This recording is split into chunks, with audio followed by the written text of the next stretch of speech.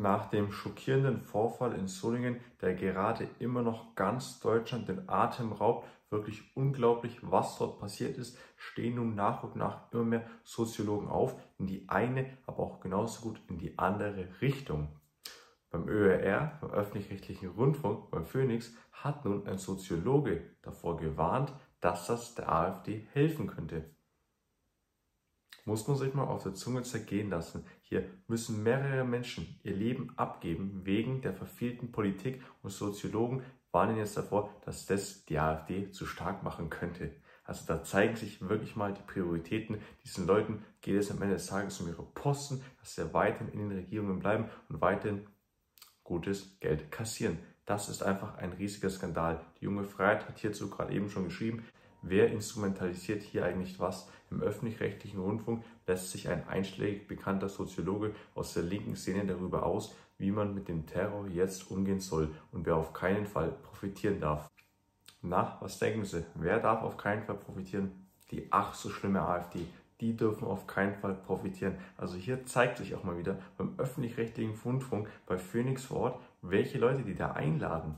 Weil es gibt natürlich auch Soziologen, die sagen mal ganz klar, jetzt ist Schluss, es muss endlich mal was getan werden. Ja, es reicht doch endlich mal. Weil dieser Soziologe, was er genau gesagt hat, schauen wir uns hier auch noch an. Junge Freistadt weiter. Bonn-Solingen, der Soziologe und Rechtsextremismusforscher Matthias Quent hat am Montag im öffentlich-rechtlichen Fernsehsender Phoenix mit Blick auf den mutmaßlichen Terroranschlag von Solingen, mutmaßlich, also vor allem Erstarken der AfD gewarnt. Zwar habe die Partei durch das Erstarken der Demokratischen Protestpartei BSW, also die sind anscheinend eine demokratische Partei hier, und die vermeintlichen Potsdam-Enthüllungen zwischenzeitlich in Umfragen abgebaut, doch das drehe sich inzwischen wieder zugunsten der AfD. Unmittelbar nach Bekanntwerden der Gewalttat mit drei Toten und acht Schwerverletzten seien die Radikalisierungsunternehmer von rechts sehr fleißig gewesen, die Tat politisch zu instrumentalisieren. Und